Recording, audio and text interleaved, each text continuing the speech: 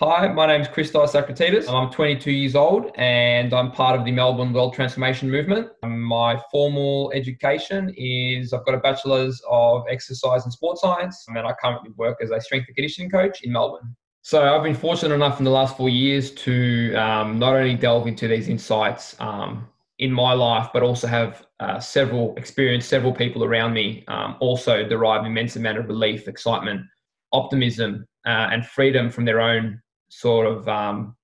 preoccupation with am I good or am I bad? You know, the underlying question that burns at the heart of every human. There's nothing more that I'd like to bring into the world now than to just help any individual and every individual um, understand these insights because I have no doubt that I know the immense relief and love and joy um, and just honesty and liberation, reconciliation. I could go all day with words, but all those things that it brings now brings to the human life, things that you know almost seem unreal um, and the ability to actually properly understand ourselves and our place in the world without a single bit of doubt or a shred of insecurity again um, just makes me so excited. You can just see the fundamental goodness in each other and genuinely start to um, sympathize with each other's situation which just makes the relationship um, unlike anything you experience uh, prior to understanding the human condition. So I really, really encourage everyone. Yes, these insights will appear confronting at first because it has just been a long no-go zone subject um, for all of us, myself included. I'm no exception. I I couldn't hear the information at first, but I persevered. Um, and you know, sure enough, if you stick it out and you just give these a chance, um, a whole world unimaginable opens up of just clarity and just the ability to own yourself properly for the first time. Um, and there's an immeasurable amount of happiness that awaits after that. Um, I, you know, these these insights no doubt saved my life, um, and there's no looking back for me. And I'd love nothing more than to, to help others do the same. So I came across uh, the World Transformation Movement, um, and in particular Jeremy Griffith's uh, definitive book, um, Freedom. Here, through my uncle Sam, who's uh, actually a co-founder of WTM Melbourne, World Transformation Movement Centre in Melbourne. And basically, I was at the age of about 18, and um, my uncle has been a long-time supporter of these insights. And there's a lot of change one goes through um, when adjusting from being an adolescent to being an adult in the world. Uh, there's a lot of unexplained madness, um, not only in the world, but in myself, and most of which, in fact, all of it, um, I just couldn't look at. Um, I was, you know, a, like most people, um, didn't really have any sort of, wasn't really looking to find an answer or explain myself. I was just, you know, didn't even want to go there. It was a, it was a no go zone. Um, but I was fortunate enough to have my uncle who, had already understood the human condition um,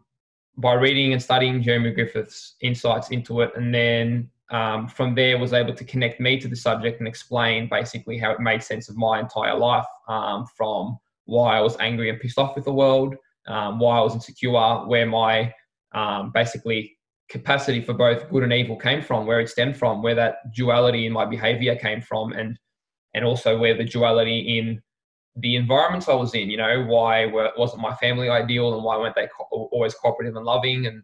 why were people dogmatic on each other? Why were we manipulative? You know, the um, just the differences you deal with at schools and between mates and just in the world, you know. Um, and and slowly but surely, I actually started to um, be able to hear and then see what it was my uncle was talking about. And then at, at some point, it was um, I had built enough courage to want to undergo my own quest for truth, to understand what it was that I was actually here to do and, and, and what it was that was, was fueling all the madness around me. And, um, and that was when I um, decided to read Freedom for myself. And almost immediately, just the excitement and relief um, that I got from reading the book once I really verified and validated that everything Jeremy Griffith is talking about with regards to our human condition is absolutely true. Um, the insights are just so honest, and that is confronting. That was confronting for me at the beginning. but the more I delved into it, the more I just saw that the incredible uh, compassion and honesty that made sense of every part of my being and everything that had ever underlied any bit of uncertainty or insecurity in my life, um, slowly but surely, um, just tied all the loose ends. It allows me, it allowed me to see my own story and my position in the world properly and honestly for the first time. Um, and then from there it was just just an incredible journey of of unraveling the truth about myself and being able to see the fundamental goodness um, in myself but it was what's incredible about understanding the human condition is that you know through jeremy's um, instincts versus intellect explanation um, that despite the common uh, lie that that we've all um, necessarily had to sort of um, or had to adopt that we have savage animalistic instincts and that's you know the cause of our mad behavior and that it's our brain's job to parent it. It turns out to be the exact opposite that science now actually explains and for me it was incredibly um, it was amazingly obvious and yet relieving to know that humans actually have loving cooperative instincts and it was when our conscious mind went in search for knowledge that uh, the two went you know uh, the two came into a clash for management of, for management of the individual's life um, in each and every human, in myself, um, and it was the brain retaliating by the instincts, expecting a certain way of behavior, and the brain retaliated and became angry, egocentric, and alienated, or as Jeremy terms, um, upset. Um, but the beauty of understanding that is that it's the angry, egocentric, and alienated behavior that we need to love and understand. And that was what I learned to love and understand in myself. And it was only through that was I able to genuinely um, start to become free of my own anger, my own retaliations, my own indifference to others, and my own, um, I suppose, just anger, um, which was fueled by an insecurity um, that needed knowledge. The only thing that was going to settle that in me was knowledge of myself, and I needed to see how I was fundamentally good in all this, and how, despite having been, you know, an angry, uh, indifferent, divisive individual in my own life, that underlying all that was that I was still good, and there was a very good reason for that. Um, and Jeremy just explains it so holistically, um, and he credits some of the best, some of the most honest, profound thinkers in human history, and collates them all in one in one holistic view of the human journey that ties together you know things like the difference between men and women and difference between races and polarized politics um, you know just gets to the bottom of every single uh, controversial topic um, that has perplexed mankind for so long and explains it so rationally, so logically, you'll almost think, how, did, how, did, how didn't we see these sooner? Um, and yet it's those exact answers that provide the incredibly optimistic, um, relieving, and exciting future that is now available for all humans. Um, the job has been so far to understand um, the human condition first and foremost within ourselves and how that translated into the world and into all the angry, upset behavior that we do live out every day, um, but has been a much too confronting subject to be able to acknowledge um, until eventually we're able to explain and defend the good reason for it, which is, from my experience, exactly what freedom um, has done for me. Um, and now I just have an incredible, optimistic view, an exciting view, and it has helped me mend all my relationships with everyone around me because I don't have to be um, operating from the basis of I'm not good anymore. I get to live each day operating from the basis of knowing my fundamental goodness and genuinely being absolutely uh, sure in that because I've got a scientific first principle, biology based explanation that I can refer to anytime if I ever ever have any um, uncertainties. For me with Jeremy's work, um, I mean, I could really talk for hours on end about how many incredible connections there is to make, but some really big ones for me was definitely well, the Adam Stork story just um, so beautifully depicts the clash between the instinct versus intellect in a way that has never been depicted before. Where for once, the angry, egocentric, and alienated guy or girl is actually the hero of the story of life on earth because that was the job to search for understanding and, and, and so long has have those traits been condemned in humans and looked at as bad and undesirable. And for the first time, science has the capacity to actually be able to explain, defend, and know the good reason um, for those behaviors having you know become present in um, humanity in the first place. And for me, that was incredibly relieving because only now, after understanding the, human condition, do I see how much my life was spent escaping and not thinking about and deriving relief from those parts of myself that only ever concluded that I was bad um, until I had the very good reason and defense and biological explanation that Jeremy gives us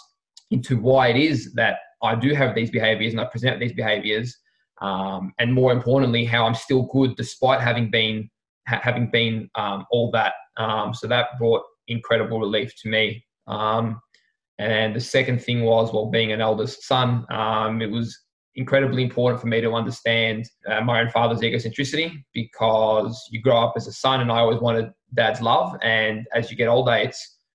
quite becomes quite combative between, you know, for me became quite combative um, between me and my father um, because you start to retaliate. And, and really what I started to see in my dad, things I didn't like about myself. And it was only, um, again, through understanding the human condition within myself that it dissipated that um, to the degree where I'm able to have a genuine, honest, great relationship with my father and understand the, the amazing hero, heroics um, and good, see the goodness in the um, degree of egocentricity someone like my father has had to um, partake in the human journey, um, as opposed to resenting it, which was just coming from my retaliation of not knowing, you know, why it is that this behavior was present and why I was subjected to it. Um, and I'm just able to leave that whole that whole mess behind, and um, and it does wonders for any part of relationship, and that's just an example of it. And I've been fortunate enough that my dad actually, you know, has uh, now been able to understand the human condition as well, um, which has just paved a, a gateway for a whole different kind of relationship that I never actually expected I'd experience in my lifetime, and I imagine that a lot of young men don't expect to experience with their father on a, such a genuine level where it's okay to bring to reintroduce sensitivity and honesty and you know all that old egocentric hierarchies and um, can just go and you can just talk to your father on an equal footing honestly about the world and you can just see the fundamental goodness in each other and genuinely start to um, sympathize with each other's situation which just makes the relationship um, unlike anything you experience uh, prior to understanding the human condition. So I've been fortunate enough in the last four years to um, not only delve into these insights um, in my life, but also have uh, several experienced several people around me um, also derive immense amount of relief, excitement, optimism, uh, and freedom from their own sort of um, preoccupation with "Am I good or am I bad?" You know, the underlying question that burns at the heart of every human. There's nothing more that I'd like to bring into the world now than to just help any individual and every individual um, understand these insights because I have no doubt that I know the immense relief and love and joy um, and just honesty and liberation, reconciliation. I could go all day with words, but all those things that it brings now brings to the human life, things that you know almost seem unreal, um, and the ability to actually properly understand ourselves and our place in the world without a single bit of doubt or a shred of insecurity. Again, um, just makes me so excited. And I'd love nothing more than be able to support it. Um, so I really, really encourage everyone. Yes, these insights will appear confronting at first because it has just been a long no-go zone subject um, for all of us, myself included. I'm no exception. I I couldn't hear the information at first, but I persevered. Um, and you know, sure enough, if you stick it out and you just give these a chance, um, a whole world unimaginable opens up of just clarity and just the ability to own yourself properly for the first time. Um, and there's an immeasurable amount of happiness that awaits after that. Um, I, you know, these these insights no doubt saved my life, um, and there's no looking back for me. And I'd love nothing more than to help others do the same. Um, so I really encourage any, anyone um, who's interested to give it a really good crack. Um, watch the first four videos um, on the website. They're also amazing. Um, visit www.humancondition.com um, and get in contact with the team if you've got any concerns, uh, because we're all here to help. And it just has an incredibly exciting um, conclusion for all humans now. Um, we are all good, and we've been waiting for these answers, and we just needed the proof, and we've got that.